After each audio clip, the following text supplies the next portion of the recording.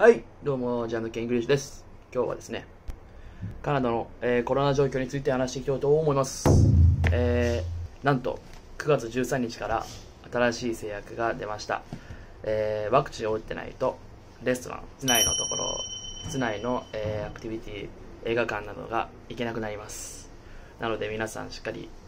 日本もし9月中に来る人はなるべく日本でワクチンを受けてきた方が、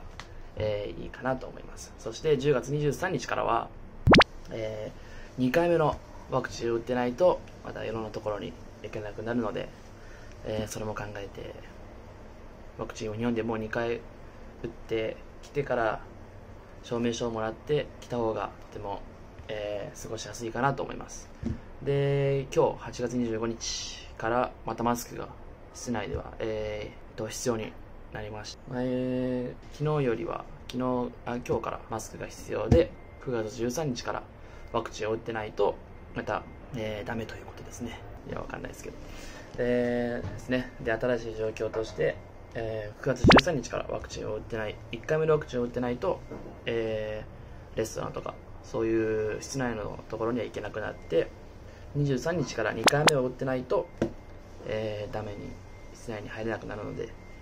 えーもし今カナダにいる人とあとはこれからカナダに来て留学とかそういうの勉強する人たちは、えーもし日本で受けれるのであれば日本で受けてきてから証明書を作って、えーこっちに来た方が楽なんじゃないかなと思います。それではね新しい、えーカナダのコロナ状況でした。また新しいことがありましたら、えー更新していきたいと思います。また質問もありましたらどんどん、えーコメント欄に書いていただけると更新します。それでは皆さんさよなら。グッバイピース